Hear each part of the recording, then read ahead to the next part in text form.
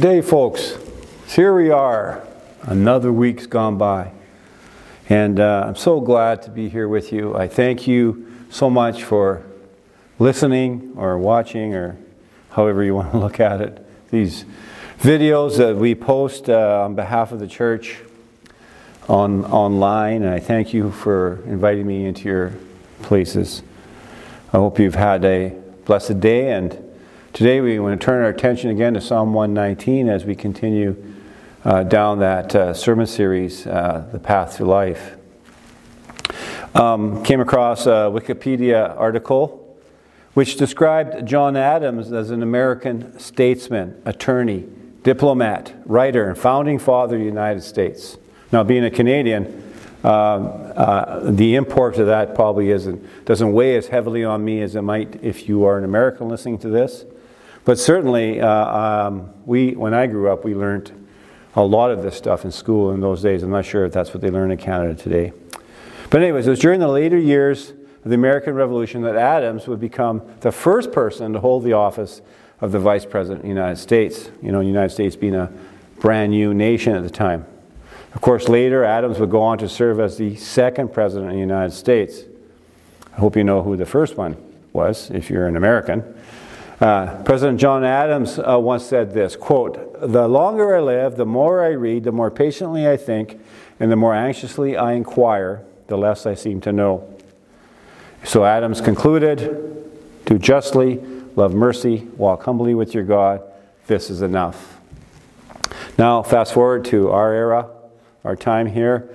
Uh, Professor Trevin Wax, in one of his articles, focuses on the subject of mercy kind of doing a little switch here. Uh, subject of mercy in relation to the wider church. And he said this The church should be a place of mercy and kindness in a world of constant, constant judgment. The church should be a place of, quote, compassion, a refuge in a world of cruelty. A place of, quote, clemency in a time of canceling. Well, with this in mind, Wax went on to ask some questions of the wider church he asked, What form should mercy take? What does mercy look like? And what does it require? And he asked these probing questions in view of his perception or his study of, if uh, better to say, study of our current culture, which he called an era of expressive individualism.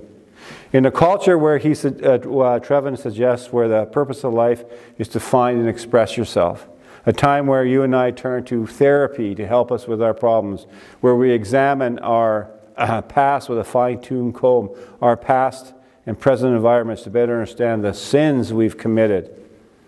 Now, he acknowledges while these approaches can be helpful, he goes on to argue convincingly the desire of the wider church to be a place of mercy and compassion has been diluted, has become vague.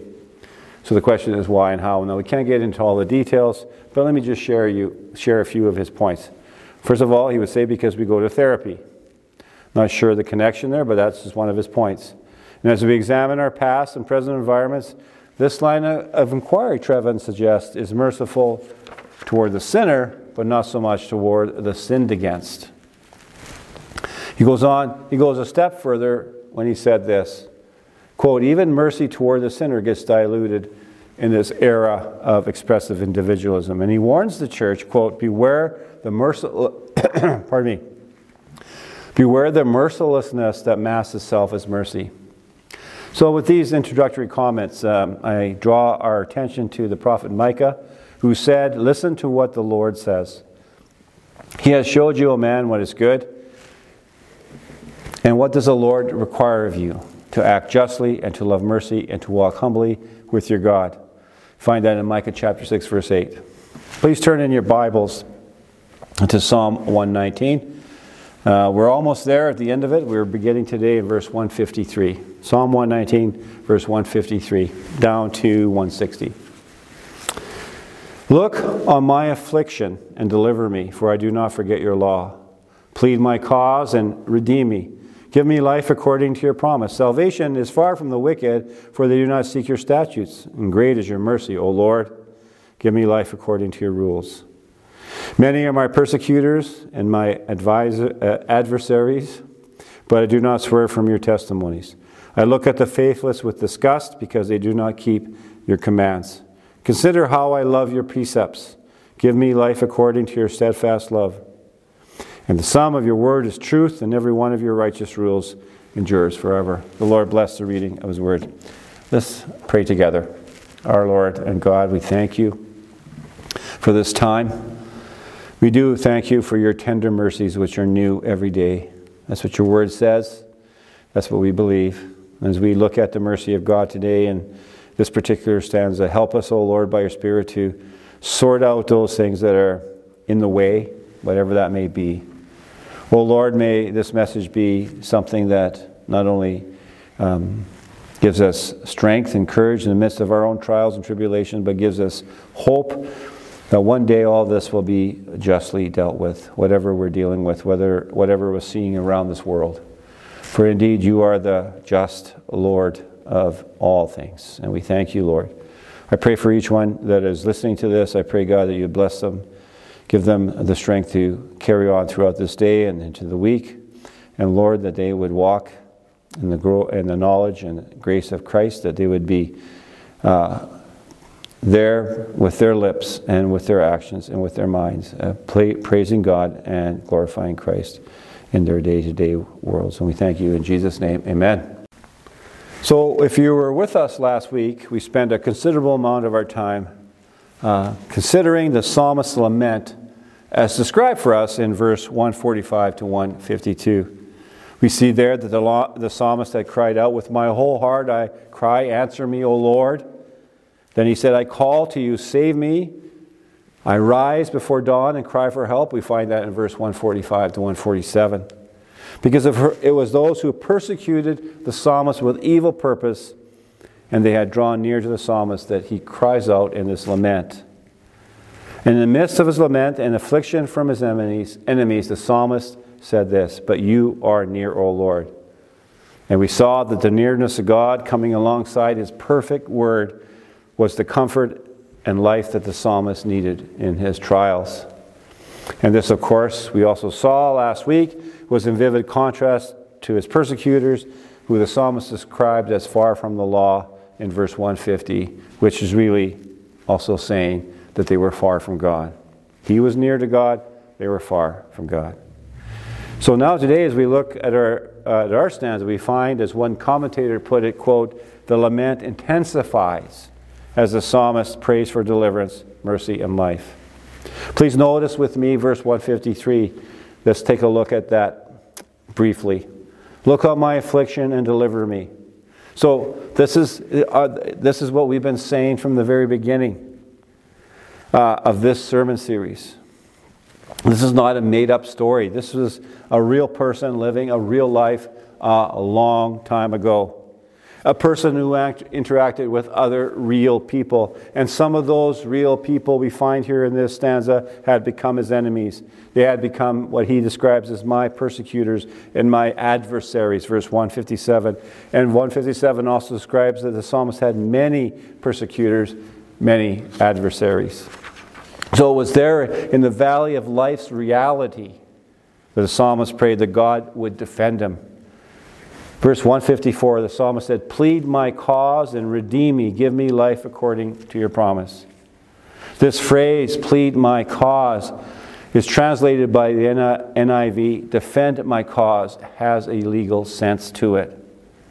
The Hebrew translated by the ESV and NIV, my cause, is a term used for a proceeding in a court of law.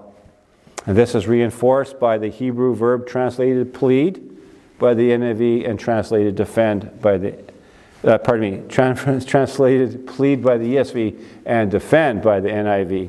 And I think the NIV has really captured what seems to be the fuller or deeper meaning with the word defend. The psalmist appealing to God to defend his case before his adversaries, his accusers. Others have done this in the Bible as well. King David, we, we see him doing this more than once. King David prayed to God to defend himself against his adversaries, and he said this Contend, O Lord, with those who contend with me. Fight against those who fight against me. Psalm 35, verse 1. We can even go to Jeremiah chapter 50, and there we find God's response to Babylon's oppression of his people. Jeremiah said, The people of Israel are oppressed, and the people of Judah with them. All who took them captive have held them fast. They refuse to let them go. Their Redeemer is strong. The Lord of hosts is his name. He will surely plead their cause. There's that phrase, that legal phrase, that he may rest to the earth. He may give rest to the earth, but unrest to the inhabitants of Babylon. Jeremiah chapter 50, verse 33 and 34. Well, we go back to our text. With this in mind, and before we just dig a little deeper into the, in the, to the topic of the mercy of God, please notice again a continuing contrast. A contrast between a servant of God who, in his affliction, was drawn near to God. We see this when he said, I do not swerve from your testimonies, verse 157. And this is in vivid contrast to his persecutors, his adversaries, who are far from God. And he describes them this way They do not seek your statutes, do not keep your commands. Verse 155, verse 158. Well, we can go to the New Testament, and the Apostle Paul helps us with some commentary in this regard. We find there in uh, Paul writing to the church in Colossae, after describing just before this verse that we're going to read together, uh, the preeminence of Christ.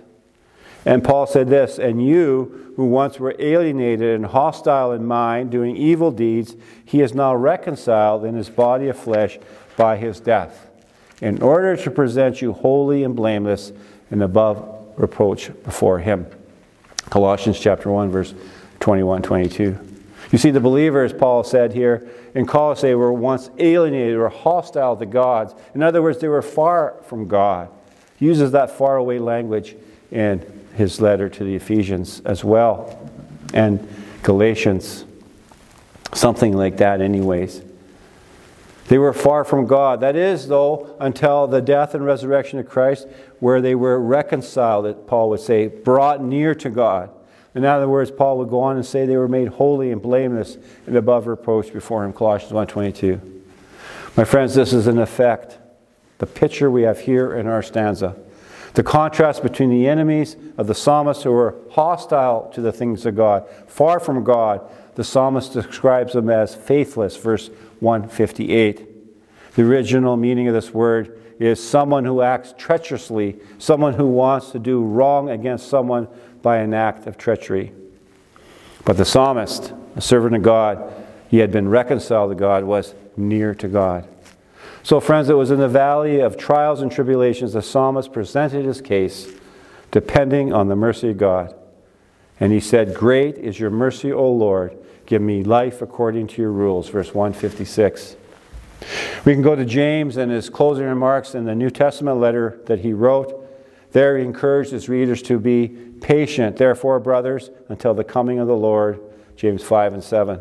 And then he gives an example of patience from his first century context, an example that some of you might even understand today. He pointed to the farmer who waits patiently for the crop on harvest day. Then James gave, James gave, gave another example, an example, and I'll just uh, read what he said an example of suffering a patient. He said, Take the prophets who spoke in the name of the Lord. We consider those blessed who remain steadfast. James 5, 10, and 11. Then James offered up Job as another example of one who was unwavering in their suffering. And finally, John, James said, You have seen the purpose of, of the Lord. He gives them the purpose of this, why God allowed this, how the Lord is compassionate and merciful.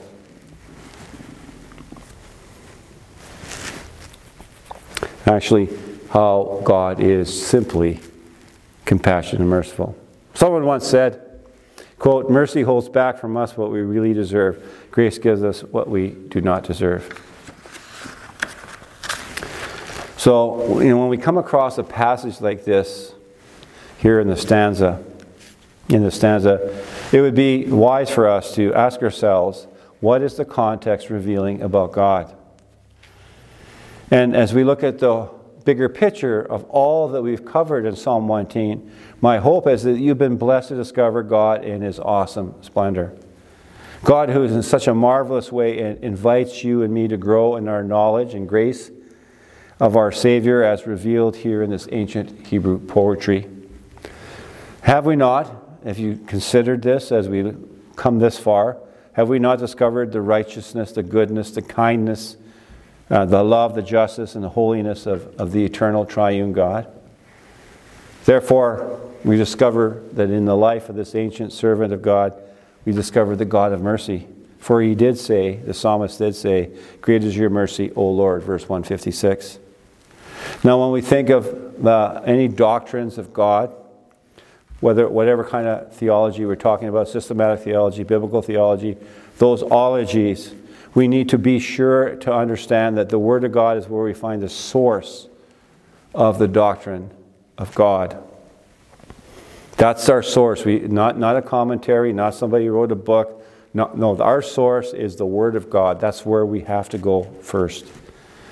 Over this course of these uh, sermons in this, in this particular psalm, we've used the Lexham Survey of Theology just to help us navigate uh, some of this material. And today we're using it, the Lexham again, just briefly concerning the mercy of God. So let's apply the KISS principle, keep it simple, sweetie, and say that the mercy of God is one, communicable, two, relational, three, a vital characteristic of God's grace.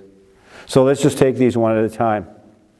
I'm not going to spend too much time here, so uh, if you want to take notes, it's a good time to do it. First, the mercy of God is a communicable attribute of God that you and I can imitate, can possess in our relationships. Jesus, in the Sermon on the Mount, began with what we call the Beatitudes. And he said this about mercy. He said, Blessed are the merciful, for they shall receive mercy. Matthew 5, verse 7. We go to Luke's gospel, and there he records the time when Jesus was tested. We know Jesus was tested often. And he was asked by a Pharisee, and this particular Pharisee was a lawyer of the law, the law, the Torah. He asked, Teacher, what shall I do to inherit eternal life? You'll find this whole event in Luke chapter 10 from 25 to 37.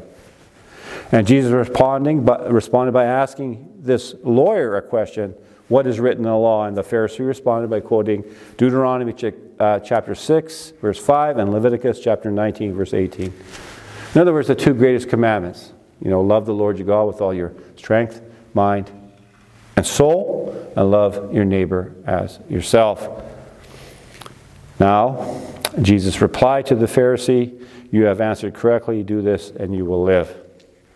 But as we understand uh, the nature of many of the Pharisees, they were always trying to attempt to justify their interpretation of the law and their actions. They, uh, this uh, lawyer challenged Jesus by saying, Who is my neighbor? And Jesus then tells this parable of a man as he was traveling, uh, was, lay, lay, was waylaid and by bandits, he was beaten, he was robbed, and left for dead. Then along came a Jewish priest, saw the man on the ground, passed by him on the other side.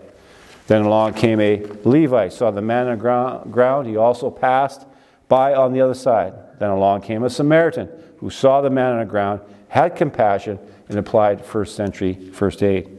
He put this man on the donkey, he brought him to the nearest inn, and he cared for him. The next morning, upon his departure, he told the innkeeper if there's any more additional charges that he might incur on behalf of this injured man, that he would make up for that on his return next time. Then Jesus asked the Pharisee, Which one of these three do you think proved to be a neighbor to the man and fell among the robbers? And the Pharisees replied, and the Pharisee replied, The one who showed him mercy. And then Jesus said, You go and do likewise. Now, friends, when we consider our merciful God, when we consider the attribute that God possesses, this mercy, we mustn't think of mercy simply just as a characteristic of God one that we do share. Because throughout the Word of God, from Genesis to Revelation, uh, we see God displaying His mercy by His actions on behalf of undeserving people. Uh, ponder this for, with me for a moment. You know, we look at our culture today, we look at the commercials and all the advertisements, the ideology, the philosophies. Certainly, certainly, uh, one thing we are told is that we deserve. We deserve a new car, we deserve a, a vacation, we deserve a comfortable life, we deserve fill in the blank. Remember what we said earlier. Mercy holds back from us what we really deserve. Let me ask you this question Why did Jesus suffer and die on the cross? You might find a break in the video here. I just got interrupted and I had to go deal with that. So let me get back here to the question why did Jesus suffer and die on the cross? Then let me ask you did he deserve the Roman cross? How about this question Does God owe you and me?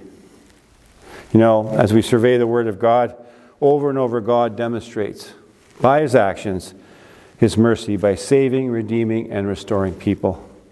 You know, we got to be thankful for the mercy of God. And maybe as the people of God, we will keep this in the front of our minds as we, uh, in our own actions as well, uh, as we relate to one another and those around us. So, one, the mercy of God is a communicable attribute of God. Two, the mercy of God is relational. That is, mercy is an expression, my friends, of God's character, which flows from His love, His goodness, His kindness. Ephesians, uh, Paul in his letter to the Ephesians goes on and says it this way But God, being rich in mercy because of the great love with which He loved us, even when we were dead in our trespasses, made us alive together with Christ. Ephesians chapter 2, verse 4 and 5. In this very Ephesians, uh, Ephesian passage, we find the third aspect of God's mercy, the vital connection with His grace. For Paul would go on to say, By grace you have been saved. That's in verse 5 of chapter 2. We can even go to the writer of the Hebrews, who describes for us the merciful grace of God at work in a believer's life. And these believers that he was writing to, that letter to the Hebrews, uh, they were struggling with affliction and trials and persecution as well. He said, Let us then with confidence draw near to the throne of grace, that we may receive mercy and find grace in the time of need. Hebrews 4 16. So we see this vital connection of God's mercy and His grace also in the Apostle John's letter, particularly in his greeting in his second letter. John said, Grace, mercy, and peace be with us from God the Father and from Jesus Christ the Son, Father, Son, in truth and love. 2 John, verse 3. So, one, God's mercy is communicable. Two, it is relational. Three, it is a vital characteristic of God's grace, my friends, which has been made manifest since the time the church began in the body of Christ, with that covenant relationship that we have with God in Christ. Let's go back to our text. We see here the psalmist had made his appeal in the face of his accuser simply on the basis of the merciful God.